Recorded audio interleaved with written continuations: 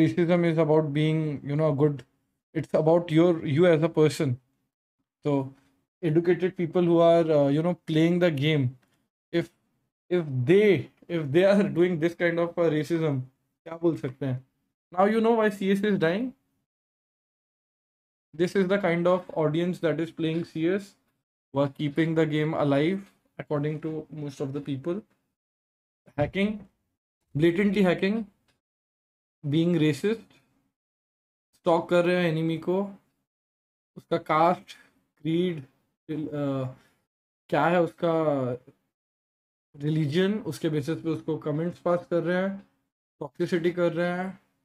And कोई अगर उनको कोई अच्छी बात बोलेगा लॉबी में तो उसको किक कर देंगे। So you see all the four who were in the lobby are together shit player base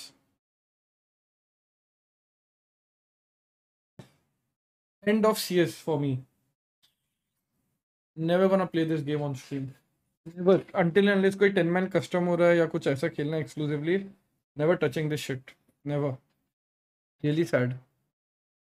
Really sad. क्या हो गया ये गेम की कम्युनिटी को क्या हो गया है रेसिज्म क्या इंसान है ये लोग जो खेल रहे हैं या जानवर हैं फुल क्यू में भी नहीं कर रहे थे किक कर दिया हाँ कसम